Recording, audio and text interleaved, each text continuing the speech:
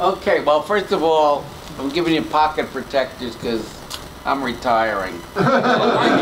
And my little, my, I've sold my little business. Oh, I didn't Uh, know. It'll be in Connecticut, and I can't say who, a friend of mine. And uh, I've run a calibration lab for 30 years based on work I did at Machlett. It's a product I designed in 1977, and they're still using it, and there is a company still building it, more or less. I don't know how many, but uh, we sold, you know, we keep selling a, a bunch of used ones, though it's, you know, there's only so long you can beat a dead horse, and, uh, but it's, it's an important product used for calibrating X-ray machines, mostly by the manufacturers. Used to be used by the Army and Air Force for field service, but it was heavy equipment, and they used it until around, when? Mid-eighties, right? And then that petered out. So, but developed other products and that filled in the gap. And so, you know, we've been muddling along for 30 years in my basement and we deal with them, pretty big companies. And, you know, we're an accredited calibration lab, so uh, I'll keep it running in Connecticut with another person I've worked with for many years. So I built, uh, because uh, Terry's uh, gun popped pooped out during uh, the end of field day, and he, I think you went sent it out for repair. And uh, Here's the status on the two.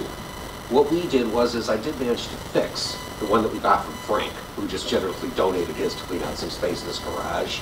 So for anyone looking to install in the short term, I've got that one fixed. yeah, And you know what I did? That was just shoe goop in the hole. Remember the hole? Shoe goop. And Yeah. it's pretty much sealed. Uh, maybe loses a half a pound every five minutes if you don't fire immediately. The one that we do that's broken solid though, the AT had given us still needs to be shipped out and I will next month. okay, so uh, I've built, I, fix I. I I had to built a unit several years ago, maybe five, six years ago, and it was pretty fragile. PVC pipe does not take very much to break. And so I think the first one, you know, the, the steel piping for the fill valve snapped off from, from the body and, you know, that kind of wrecked the first one. So then, you know, I built the second one. Now this initial one, I used a ball valve to release the air pressure. And that's not very fast. So uh, it didn't work all that well, though I did get antennas mostly halfway up my trees. Right, right.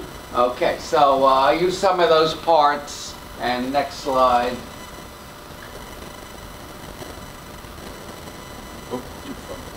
Back one.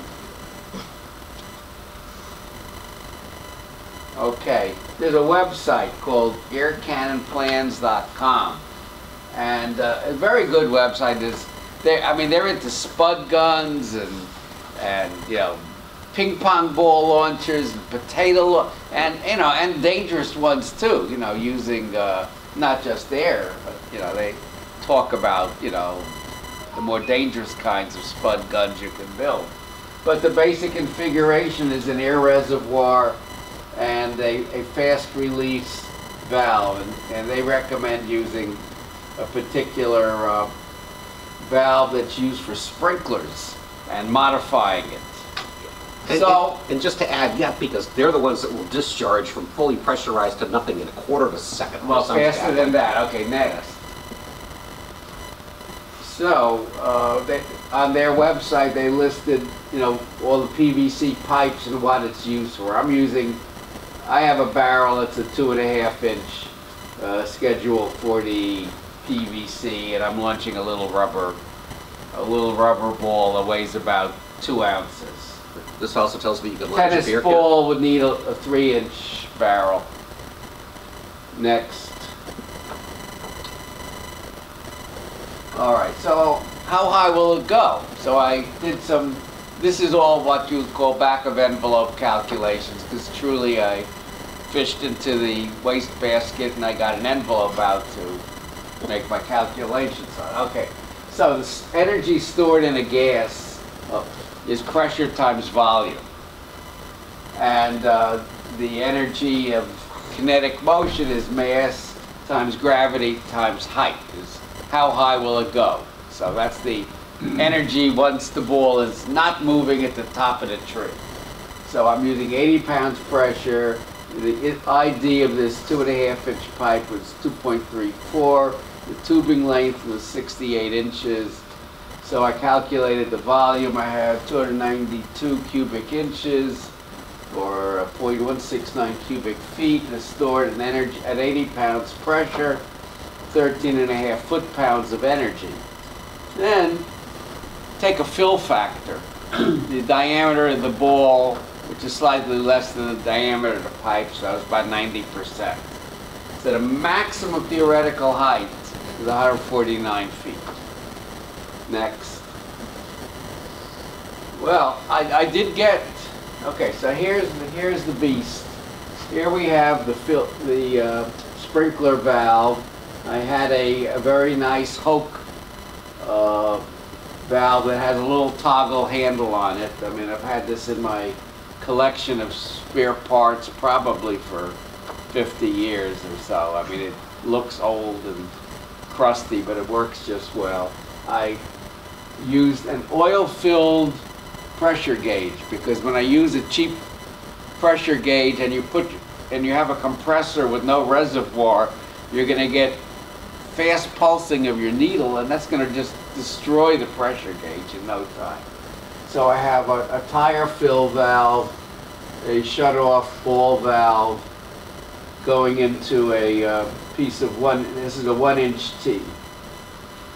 So, and not not a plastic tee because you got you know the, the whole thing is you got a lot of weight in here, and, and this plastic is going to break if you put a lot of stress on it.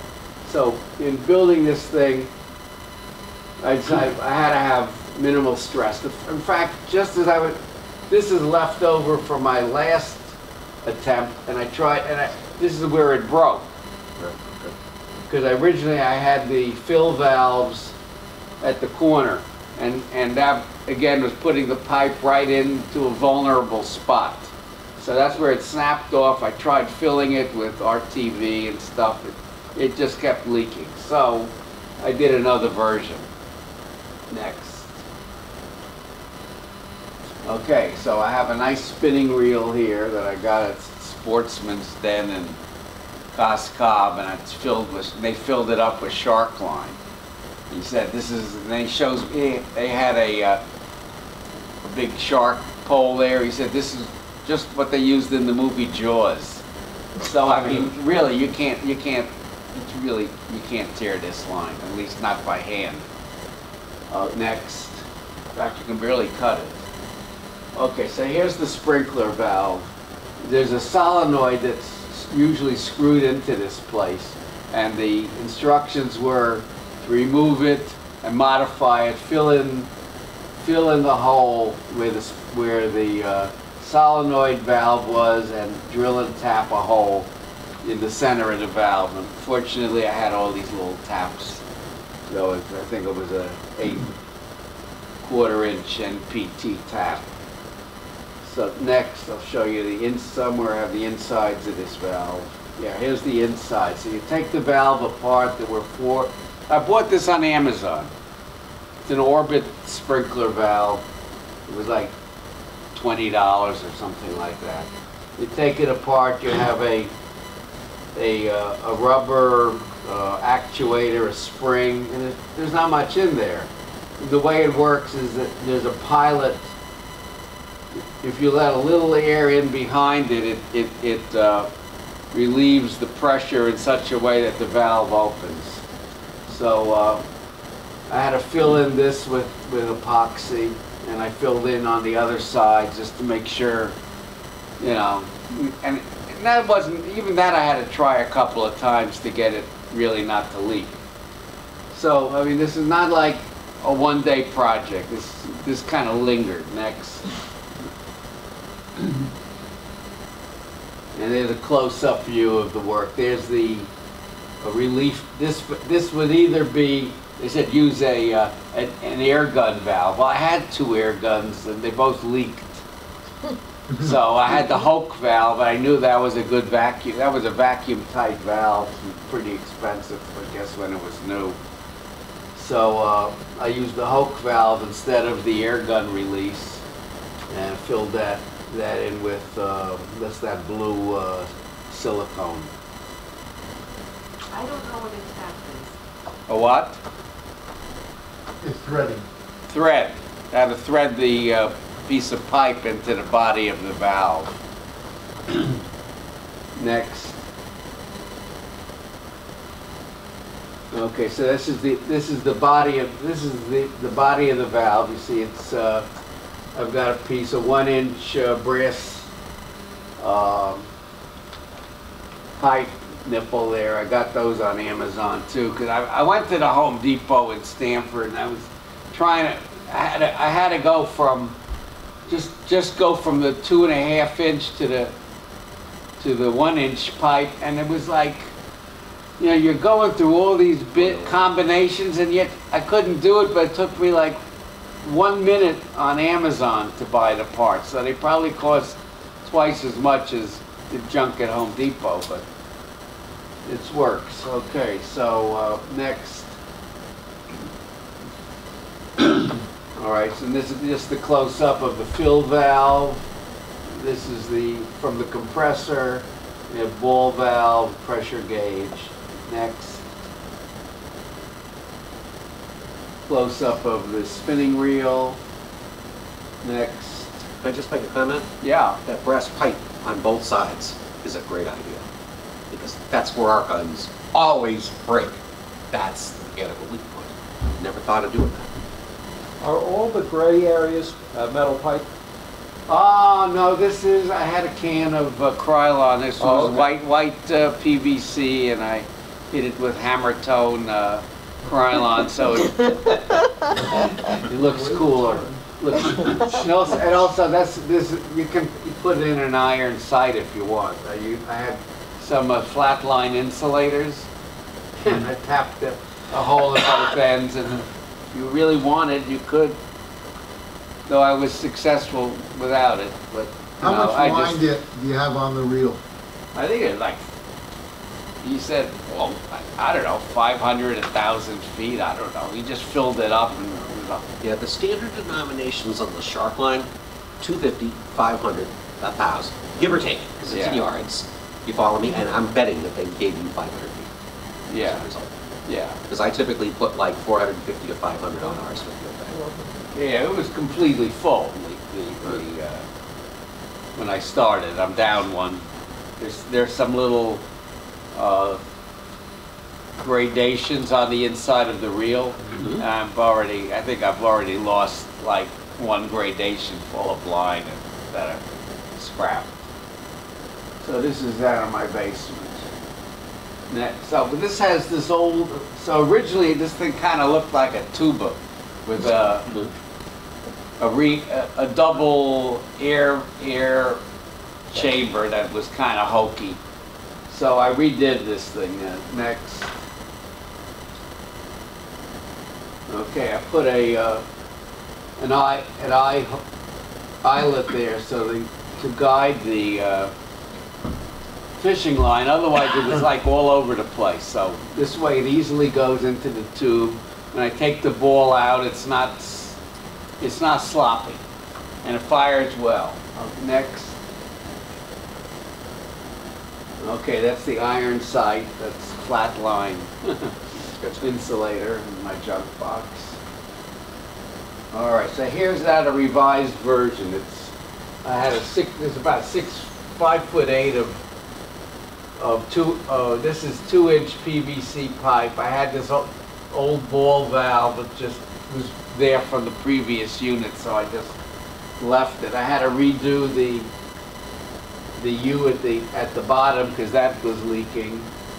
Uh, we go, then go to a reducing bushing from, this is two inch, two inch, then a reducing bushing, two inch to one inch threaded pipe, a one inch T, one inch nipple again, uh, going into the uh, sprinkler Sprinkler valve, another one inch nipple. Now I had to step up from two inch to the two and a half inch. We've got the cable clamps holding on the uh, fishing reel. And a piece of wood to keep these two pieces from separating. And eventually I did put a, uh, a very large aircraft clamp holding those two pieces together so we don't have a lot of flex. Next. Okay, so the trigger assembly the sprinkler valve, uh, pressure gauge, oil fill pressure gauge, tire fill valve, wall valve, to isolate the fill valve. But In case this was leaking, I, I, I could shut off the, uh, fill, oh, the, uh, the airline. Also, if I wanted to, as a, as a cheat, to, to, uh, stop filling it, uh, just throw the, throw the compressor into, uh, overload and it'll, you know, just the safety relief valve on the compressor will start blowing, and then I can go and pull, you know, disconnected from the wall. Next.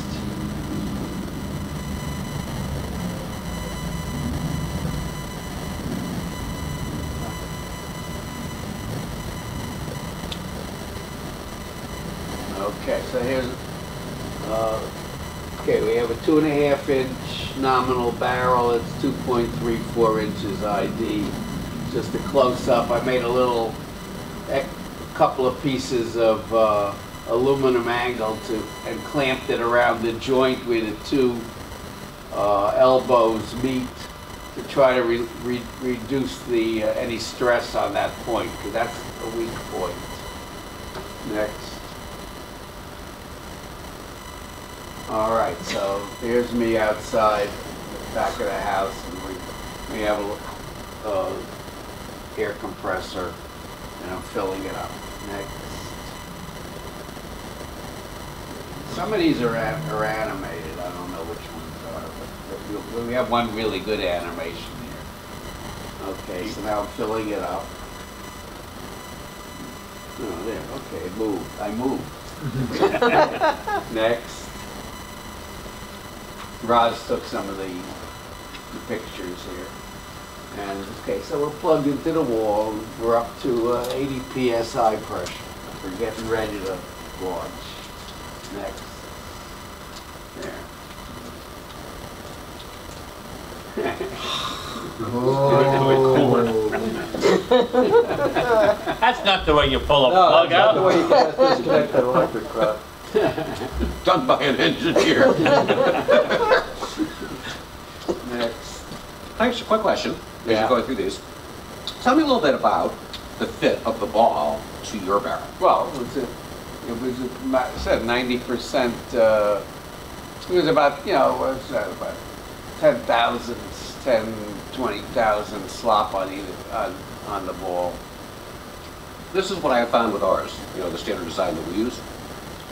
If you, they sent you a can of balls that were brand new tennis balls when they were made, and they put the loop in them, then you have to use the rammer to get them down. Oh, no, I had, another- Once I I have use another, mine- tr- I have another trick that I will tell you. Okay, well, once I've used mine for three or four cycles though, each ball, and it's gotten wet or been dragged through the mud, so the fresh fuzz is gone, then you don't even use the plunger, you just, and it goes down to the bottom of the barrel by its own right. Yeah, well, gravity. these just fall right in. Same thing.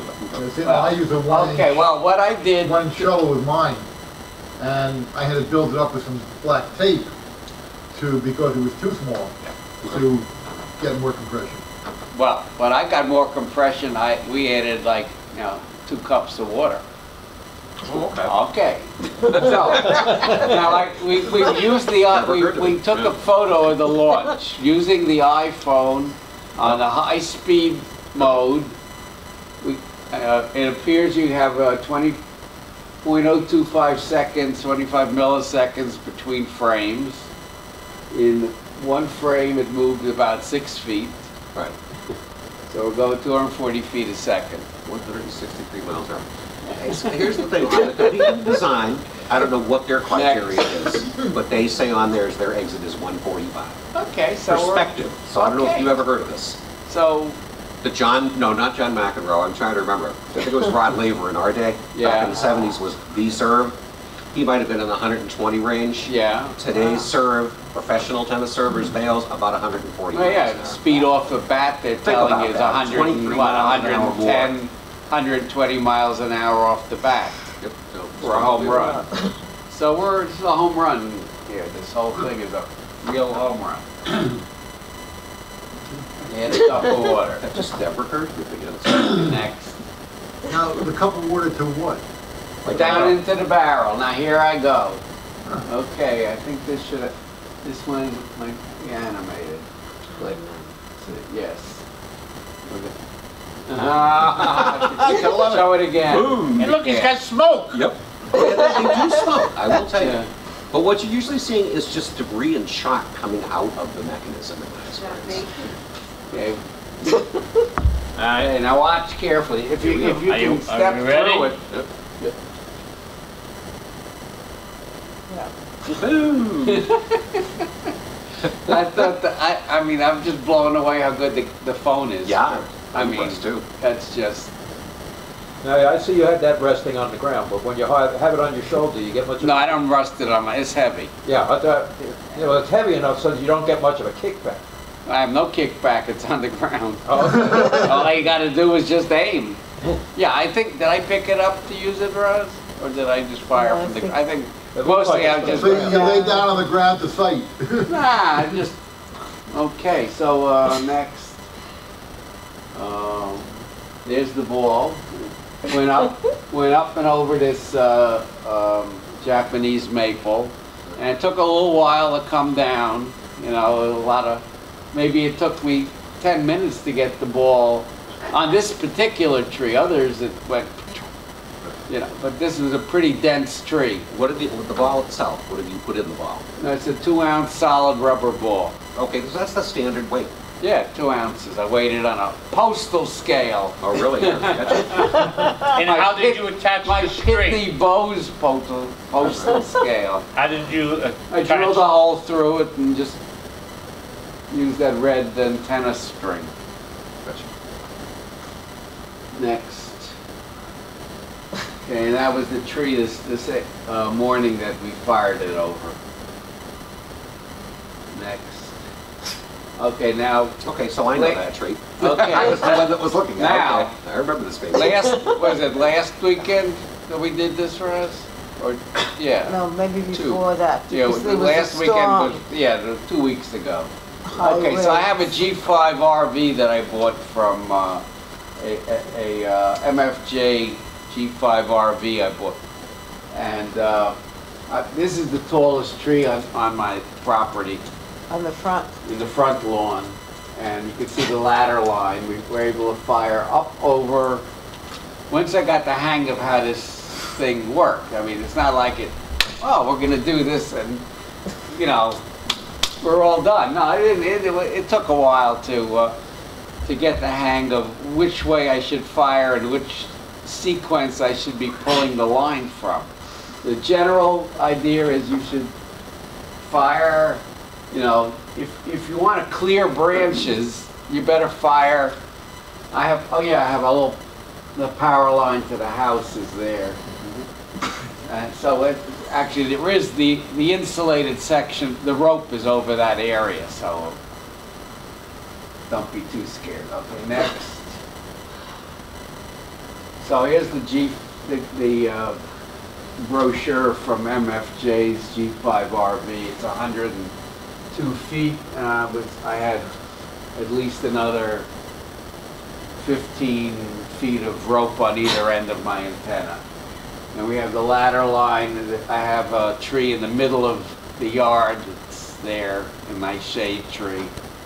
I don't know, that lost its leaves first after I put this antenna up. Okay, so it has the ladder line coming down to a little uh, connector unit. So I used uh, some uh, pretty, pretty a hundred feet of, uh, what is it, uh, from uh, DX Engineering, this 400 series, Yeah, I know, so it's. uh, really, really stiff. It's really stiff. LMR 400? I don't remember. And so I, I ended up, I, I I, I have it coming, it's just right opposite one of the bedroom windows, so we're able to, we had to go up to the bedroom, we had to snag the wires to get it, you know, against the tree that's in the middle, you know, to get it out of those branches. I mean, that took a lot of Finagling. around to do that. English, you use English on, on these, uh, ropes to, to get it free of the branches. And finally, I came down in front of the house and drilled, I had a nice, beautiful, uh, three-quarter inch, uh, drill bit. And it went through this, it went through the wall like butter, Butter. butter, know, into the basement and I wrapped up all the excess and so there's some coils. I probably have, could have used a 50 footer, but I used what I got and I'm not gonna rip it apart. Too much work. Next. Okay, so there's this, the drawing, there's the two trees, there's a tree in the middle, it comes down, a DXE 400 coax. That's my, it's coming into the basement, through the wall, goes into an MFJ 998 tuner, which is the high-power automatic tuner, and we have the 811H amplifier, and the FTDX 3000 that's driving it. And uh, when we fired it up for the first time, it sounded good. It certainly sounded, at, at, in, in, in many cases, I, I went, you know, A-B between my vertical, I have the D, the Hustler uh, BTV5 vertical, I've had that for 10 years. It's, mm. you know, it's, it works, you know, it's, it, it, it's, and it's unobtrusive, and nobody hassles me about it, and most people miss that I even have it, you know. Neighbor never said a damn thing to me. So, So what are the? yeah, this was a lot, a heck of a lot better. I was, you know, the first time I turned it on, got, you know, somebody out in Minneapolis, I can hear, I think I talked to them. Of course, I fired up, you know, put on, put on the, uh, the steam there on. But he said, yeah, we're all on, we're all on amps out there. And so they were doing a net out between some guy in Atlanta and the guy in Minneapolis, and I'm out here in Connecticut. I mean, that was, went, went well, you know. It it amazes me to this day how many people you will get on the air with in the Midwest and have a great signal, will come back and tell you, on a day where there's nobody competing for the frequencies, if you're the only QSL on the band, she's got a 59 plus 40 over here, is there any explanation for that? Yes, I'm wanting my 1200 watt linear. Well, you know, that's an interesting intellectual exercise, but why are you doing that? Well, because I paid. I've got one. I Because I paid for it. for it, Right. I'm gonna use The it. The basement's cold. Yeah, and I love Oh, the to, I love, state doesn't help. I love, and I love tubes. Right, right. You know, I'm in the tube business. And if anyone has, you know, a McIntosh amplifier that's taking up space, I'd be happy to take it away. I've told you, I've got a best friend with an old Mac that I've been trying to buy off him for the last 25 years. No success. Um, you have to kill him. Next. So this is, you know, we're up at about 90 feet, is my estimate. So with the, oh yeah, this, see, I took these with my, I think this was with my Canon SX60 zoom camera, which extends out, gives you an equivalent of 1300 millimeter telephoto lens. And it has amazing stabilization. We took this camera out on our trip to Antarctica and we're chasing penguins around in the Falklands. and it's windy and everything, and we got some crystal sharp pictures, you know, with, you know, added like 500 millimeters or so. You know, that's handheld, but this thing adjusts the sensitivity and, and, and has other compensations for, for vibration. So, you know, for a off-the-shelf, all-in-one camera, I, I, I've blown away with the pictures I could get. Next. Okay, now how do you cut an antenna rope? Well, you know, the only thing that worked really well was the box cutter. These, these guys, I mean, I, I've sharpened them up on the stone and, you know, it's, you're going. It's been my experience too. Yeah, interesting enough, a good pair of sewing scissors, I find. With the box cutters, I need a spare set of hands, or I need to curl it and kind of uncoordinated, I'm risking my hand. But with a conventional pair of scissors that are sewing quality, standard, snips right through it. But I agree, the box cutters are excellent too. Yeah. But I've had a Schrade at home that I've kept honed like a hunter, and no kidding, the Schrade takes, like you're sawing, 10 or 15 times to get Well, I could rope. use my little uh, Klein, uh, you know, diagonal cutters, miniature cutters would, would, would snap through that antenna rope pretty well. All right, so, next, what do I have next? Okay, there's my, there's my uh, shack. And I, I, I can monitor my signal with the scope that you gave me. I built a little box, know, magic box with a toroid and uh, I sample this, I can sample the signal, I can put the audio on one channel and the, uh, actually I put the received audio on one channel and the uh, RF on the other. And, uh, yeah, I can have fun with that.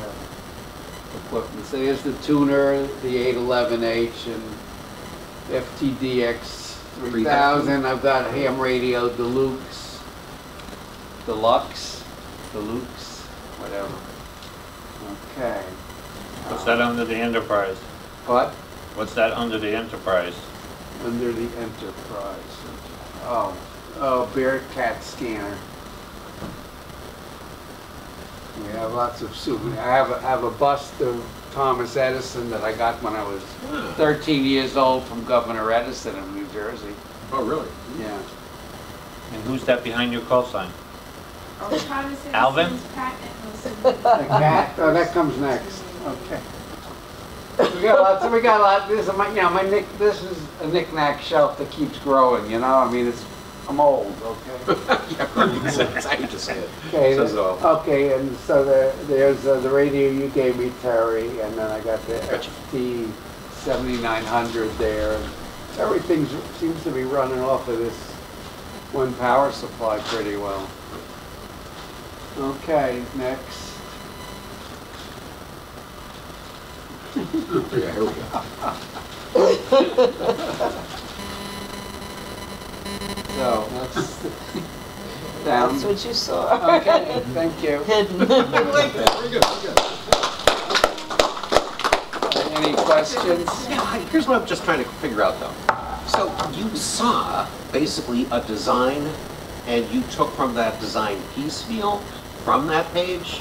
Or you just used some of the components they recommended on that page as guidance and this is all your own design in the end? It's all my own, you know, it's, I took their information of how to build the valve. I already had this other stuff from previous attempts. Gotcha. You know, we still had to buy and spend probably, on top of everything, we probably still bought another fifty dollars worth of plumbing parts. Yeah, in the end. Because you know what I was gonna say? What, what was the total cost, the overall cost? I, uh,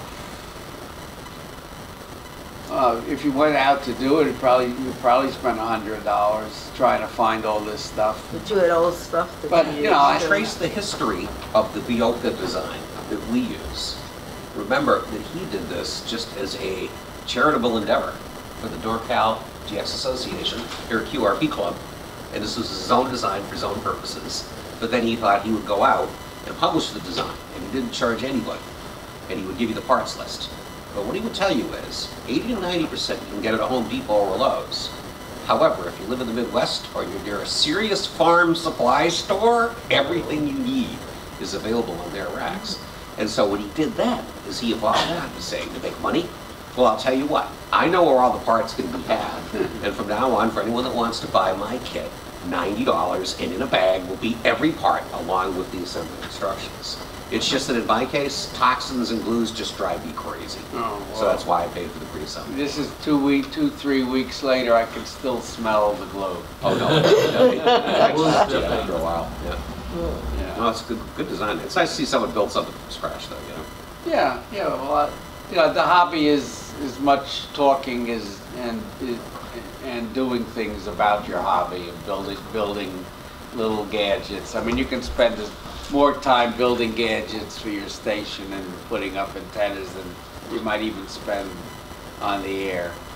But uh, uh, we- we're putting up a second antenna. We have, so one antenna is in the front. I'm putting up a B, BW uh, 90, Right, yeah, uh, that's a folded Folded dipole. Right, right. And that's what's gonna go in the backyard, and I'm gonna hook that up. First, I'll, tr- reading about it, it seems people like it as a receiving antenna. And it's kind of, the re, the reviews I've read is that it's somewhat, the higher the better, but it's, it, it- yeah, it has an easier to match SWR, because it was designed as a very broadband military very antenna. broadbanded. Right, so you can Uh, hook it up. I've got, uh, I've got one B and W up, and I've got a new brand up, which I just put up. And they both work. Plus And- side. And you don't have to worry about retuning. Right. Yeah. Plus side, downside though on that design. Yeah, it's lossy. Yeah, it's very lossy. I was gonna hook it up to the little S- SDR radio box I bought. See, because since it's very broadband, it should be dynamite on that. Mm-hmm.